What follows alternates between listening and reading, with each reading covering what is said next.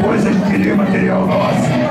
A gente tem aí o primeiro EP, o ao vivo, e ainda comprou o novo que a gente lançou agora em outubro de 2014. Quem quiser depois é só procurar a gente aí.